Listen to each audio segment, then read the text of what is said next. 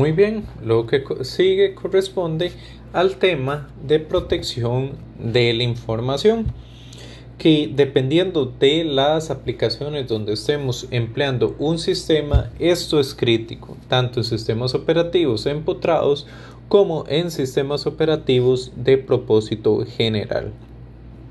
Realmente eh, la, eh, la protección de la información puede ser crítico. Específicamente, por ejemplo, si son sistemas eh, empotrados que controlan aplicaciones críticas, dígase por ejemplo las agujas de un tren o sistemas de seguridad, eh, sistemas de control de una planta nuclear. No, no queremos que eh, pues alguien de manera sencilla pueda invadir estos sistemas. Entonces vamos a hablar un, un, un poco de conceptos correspondientes a la protección como regla de dedo, si tenemos información, vamos a querer protegerla. Si los dispositivos en donde almacenamos información sufren daños físicos, nosotros lo que queremos mejorar es la confiabilidad de los dispositivos donde almacenamos información.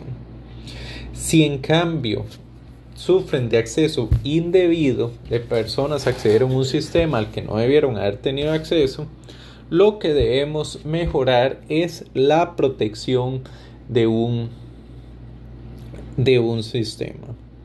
Entonces, eh, la protección en sí se puede proveer de distintas maneras. Eh, podemos generar esquemas de autenticación por password, encriptar la información para que alguien que no tenga la llave de encriptación no la pueda acceder. Podremos poner firewalls para que de manera que solo en ciertos mecanismos la información pueda ser accedida entre otros. La protección pues la podemos brindar de esos distintos esquemas. Entonces, si, tenemos, si podemos accesar archivos, vamos a tener necesidad de protegerlos. Es, es producto directo, la, la, necesidad de proteger archivos es producto directo que tengamos la opción de accederlos. Podremos proveer protección completa impidiendo el acceso a todo mundo.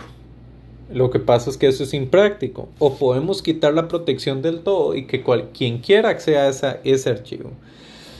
Esto pues no necesariamente es lo que queremos. Nosotros vamos a querer pues un buen balance donde tengamos un acceso controlado.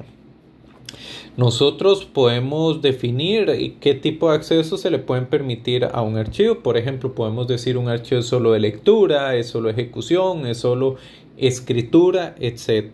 Entonces acá vienen unos cuantos accesos típicos de lectura, escritura, ejecución. Podemos agregarle a un archivo el término en inglés de esto es el término en inglés es append, que es agregar al final podremos eh, borrar los contenidos de un archivo, listarlos y cambiarlos. Podremos cambiar atributos. Esta es la clase de accesos típicos que vamos a tener en nuestros sistemas. En general, se han propuesto muchos mecanismos de protección. Cada uno tiene sus ventajas y desventajas. Entonces esto pues lo veremos acá. Entonces, Control de acceso. Nosotros queremos pues que solo las personas eh, adecuadas accedan a la información pertinente. Entonces el enfoque más común pues es permitir el acceso con base a la identidad del usuario. Si usted es usuario tal, usted puede acceder a este archivo. Si no es esa persona, entonces no.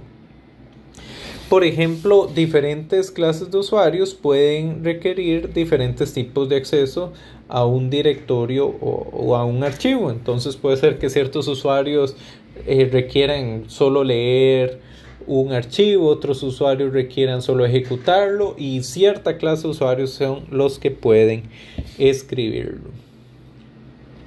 Entonces, un esquema clásico para el control de acceso es denominado la lista de control de acceso, que es básicamente se tiene una lista que lista a los usuarios del sistema e indica qué permisos tiene cada usuario.